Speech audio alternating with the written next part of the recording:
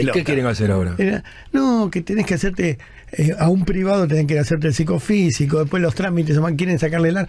Es una locura, están haciendo un negociado dentro del RENAR, calculo que es negociado. No quiero pensar que es por ineptitud, prefiero pensar que son hijos de puta y no que son inútiles. Pero la Ahora, chica que está en el RENAR tenía que dar explicaciones y primero tenía que haber averiguado dónde están los dos afanos de armas del gobierno anterior del RENAR, dónde fueron a parar esas ¿No, está- no estarán tratando de desalentar a la gente que quiere ir a practicar tiro? Digo, no, esa gente va a ir igual.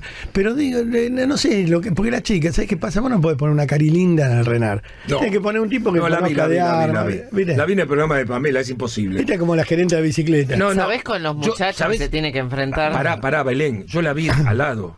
Es para jardín de infantes, maestra jardinera. A lo mejor No tiene para capacidad, manejar pero... eh, Nadie le duda la capacidad. pero a lo Me mejor tienen que... Sí, tienen que... Era maestra jardinera, tienen, Belén, te sí, lo juro. sí, tienen que enfrentar muchachos muy pesaditos. Nadie duda de la capacidad. Sí. Pero hay que tener la El autodeterminación. tiene que Claro. ver también, viejo. Ahí tiene que haber un tipo cojudo, viste, un tipo como Bernie, un tipo a- Además, tenés que tener Montenegro. A ver, Boris Karloff, vos lo- a Boris Karloff, ¿vos lo pondrías a hacer una comedia musical? No. Bueno, entonces, ¿de qué estamos hablando? Toda chica linda, vos fíjate, la que está en bienestar social es linda. Esta es linda, ¿qué? ¿Pero que es un desfile de moda? No sabe de armas, sí, pero ¿Qué? ¿sabés qué pasa? No, no sabe. Yo le hago preguntas y no sabe. No me da, qué yo. Buah, Buah. son las cosas, está, todo mal, está todo mal, viste, yo creo que eh, esto parece más una fiesta en la casa de Pancho Dotto que un gobierno. A ver, Belén, los teléfonos. 4 5 3 5 4000 11 5005 0710 nuestro WhatsApp y si querés enviarnos eh, un bueno un Twitter está en Instagram Radio 10 en Twitter o en Instagram ¿Sabes por qué me da bronca a mí? Yo voy a votarlo ahora a Macri. De nuevo. Yo sigo apoyando hasta que la corrupción se termine. ¿sí? Ok, No creo que pase. Pero, pero yo a estas chicas las veo, a ver, en mi, mi mente, Sí, sí. como una pecera llena de pirañas. Pirañas viejas, barbudas, con los dientes como los de debido, todo doblado hacia arriba. Viste, con anteojos, mal aliento, que mean con una espuma así del café. Ah, asco. Las viejas con el pelo teñido con cola y están las pirañas.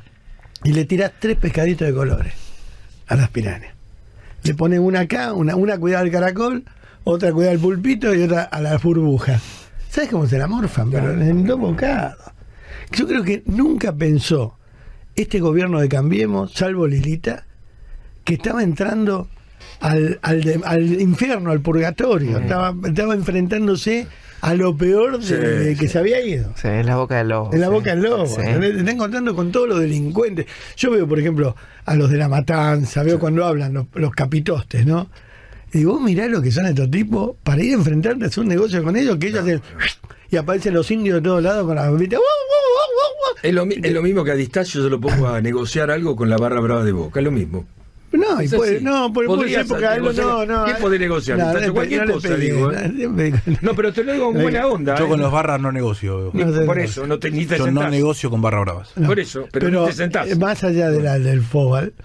Eh, no, pero es, eh, yo veo a los chicos esto, incluso a Marcos Peña, que respeto mucho, pero lo veo, digo, a este lo dejan hablar y un día le dicen, ¡buah! y se lo comieron, ¿viste? Porque es como, ¿viste? Como los, son así. Yo lo- sí, quedan los zapatos y el humo. ¿Sabés a qué me vas a acordar de los Pac-Man? Ah, ¿Viste los Pac-Man? Que... Vos, vos sabés que tenés que ver los dibujos, eh, los dibujitos animados. ¿Viste las películas? Sí, Dibujitos. sí, el reflejo Porque de la ahí es el reflejo de la Sí. sociedad. Y yo siempre me imagino que los peronistas son como las iguanas que están, viste, haciéndose la boludo así, doblando los ojos para los dos lados, así, así, y un día pasa uno que no es como ellos, ¡pac! con la lengua y se lo llevan, viste. Pero claro, te dejan hablar hasta que tienen ganas, y después se, viste, te- se paran de mano y te destrozan. Y lo han hecho muchas veces.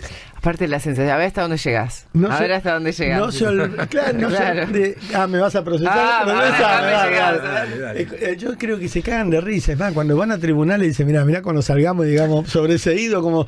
Yo, por eso, la analogía del pigmeo me parece que fue una de las cosas que se me ocurrió, que no sé si a usted le sirve, pero a mí sí. Los pigmeos corriendo al elefante y clavándole las patas para que se desangre, ¿no? Ellos son todos pigmeos. No, ellos no, no quiero. de- Nosotros somos todos pigmeos. Entonces no atacamos de a uno. Nosotros nos enfrentamos uno con uno. Cuando es necesario, armamos la patota y empezamos a desangrar al que hay que desangrar. Entonces crece Vidal, vamos a desangrar a Vidal. Ta, ta. Le armamos foco de quilombo en la provincia, le agarramos los supermercados. Lo eso hemos visto trabajar en el 2001, Uf. chicos. Es más, hasta son capaces de tirar un tiro para atrás, para tener un muerto. Sí. O sea, son capaces de cualquier cosa con tal de voltearte. Y eso es lo peligroso. Y estos pibes van con el guardapolvo del colegio y las dos manones en el bolsillo. se creen que es 25 de mayo. Y encima creen en la patria. Porque dicen, no, hacemos una patria mejor. Pero vos estás convencido, flaco, que esto es una patria. Esto es un... acá lo que compraste fue un lote grande, lleno de hijos de puta. No es una patria. Patria es una cosa. Patria tiene ciudadanos, colegios, fábricas que echan humo, funcionan, confiterías. Esto es un gran manojo de hijos de puta anárquico, que cada uno hace lo que quiere, eh, pasa el negro en la moto, le pega un tiro a un jubilado. ¿vos, vos imaginate una película filmada en la Argentina? Donde vas con una cámara arriba filmando, ¿no? Y ves, pasan dos motochorros, arrastran una vieja a 200 metros. El cana de la esquina los corre y el motochorro le pega un tiro. Cae el cana. El cana devuelve el tiro y mata a un canillita que está a 200 metros. El canillita tira los tiros, se tapa la alcantarilla, se inunda todo. La ola se lleva a los pibes del colegio. Cuando vuelven los libros del pibe del colegio, se zafan a otro y los venden en la feria de San Telmo. Es toda una mierda, ¿viste? Donde, donde es una carrera de posta a ver quién es más hijo de puta. Y, llegamos a este momento donde la gente honesta, que es el que garpa los impuestos, te dice, no quiero votar a nadie. La gente está, viste, dice, gana Cristina. Yo no creo que gane Cristina, mira lo que te digo. Hay mucho voto vergüenza que a último momento lo van a dar vuelta. Tampoco creo que lo voten a más. La gente no quiere votar a nadie, hermano. No quiere. No, hay gente, yo estoy convenciendo de a uno en uno que vaya. No, anda, anda. No, yo no voy a ir. Anda a votar, carajo. ¿Cómo no vas a ir? Anda a votar. Hay que ir a votar. Por cualquiera, pero hay que ir a votar. Pero bueno, la gente Sí, está- la gente piensa que no sabe que está votando precandidatos a diputados. No saben nada porque le hablaron Sí, como tanta- vuelve Cristina al gobierno o lo que sea. No, eso no vuelve, no, pero, pero- por eso digo, la la- gente no sabe que está Me votando. gustaría eso. saber, eh, que me expliques, Javi, ¿qué voto el domingo yo?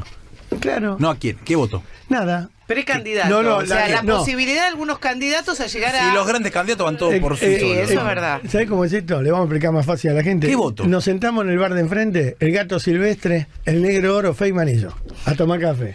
Y se elegí uno para que haga radio el año que viene.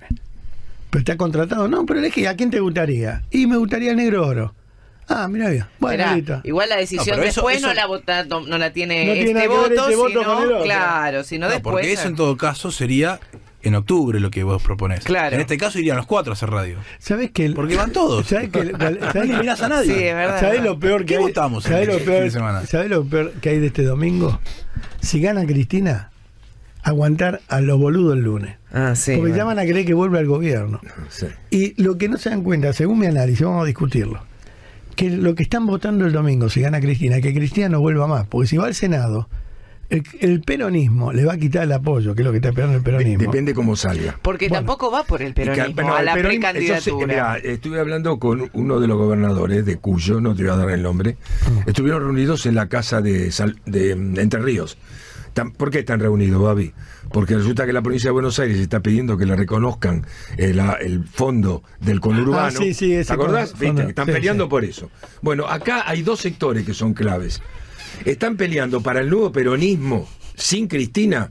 Hay dos, por, dos, por- dos, dos gobernadores que están peleando por eso. Uno es Chiaretti de Córdoba y el otro es de Salta. Esos dos son los que quieren otro peronismo, pero están mirando el resultado. Ellos dicen que cualquiera que gane por menos de cinco puntos, en octubre se puede dar vuelta. La clave es que se gane por menos de cinco puntos. Porque si ganas por menos de cinco puntos, en octubre se puede dar vuelta, pues las cosas pueden cambiar. Más de cinco puntos ya no lo pueden Pero dar vuelta. que Eso yo- es lo que me dijeron. Yo creo que Massa y Randazo, si gana Cristina por mucho, son con ella. Olvídate. Ah, no, sí, seguro. No, Ah, no se vale con ella. Sí, ¿Qué? No. el peronismo va tratar ¿Cómo, del que cómo gane. Massa va a ir con Cristina? ¿Sabés cuál es el problema? del que gane, No, olvidate. Massa ¿Sabés Cristina, sabés no. cuál es el problema tuyo? Acá queda una Argentina, de gente joven como vos y gente vieja como nosotros. Es que ya lo vi. Los jóvenes le venden cualquier cosa. Y los viejos ya lo vimos. Ya lo vi. ¿Sabéis lo cuándo lo vi? Viste, viste, vos decís, Cafiero. Bueno, estoy hablando del año 80, Cafiero, una responsabilidad histórica. Manzano, eh, Miguel Ángel Toma, eh, Grosso, parecían que se comían los chicos con me, me duelen los oídos. de pará, escuchar. parecían los chicos. ¿Quién se presentó del otro lado? Un tipo patilludo, melenudo, No. un poncho llamado Menem. No, pero ahí lo cuando, cuando ¿Querés- ganó Menem, sí, pero ¿Querés cuando que te diga? todos atrás de Menem. ¿Querés que te cuente una anécdota? ¿Querés que te cuente una anécdota? Cuando, cuando le gana la interna a Menem a Cafiero, Sí, señor. eh, Juan Picafiero, vecino Sí. mío de San Isidro, Sí. Se quedó con un Fiat Duna Bordeaux sin batería. Mm. Sábado a la tarde. Me dice, acompañame a buscar una batería. Fuimos a buscar una batería. Andábamos por la calle y le digo, che, Juan, ¿te puedo hacer una pregunta? Sí, a pie. ¿Cómo es posible que Menem, que nos cagábamos de risa todos, Sí. que parecía el mono Horacio. Sí, sí. Le haya, gan- le haya ganado a tu viejo, que tu viejo hablando Sí. era un virtuoso. ¿Y sabes qué pasa, Babi? Te lo juro por mis hijos, él lo puede negar, pero te juro. En el peronismo siempre gana el más negro. Bueno, ahí Te juro por esa es Sí, palabra pero de yo lo- Pablo estoy de acuerdo. Vos sabés que decían eso. Ahora él me dice quién lo dijo, pero me decían eso. Y todos fueron detrás de Menem. Olvídate.